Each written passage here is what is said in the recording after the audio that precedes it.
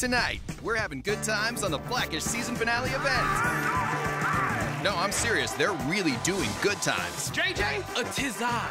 All the characters. Hey, Florida. Hey, it's midnight. You're home from work early. All the fashion. What happened to your shirt? Bookman fixed the dryer. And all the hair. Be cool, fool. There's only one word to describe this finale. Dynamite! The black-ish season finale.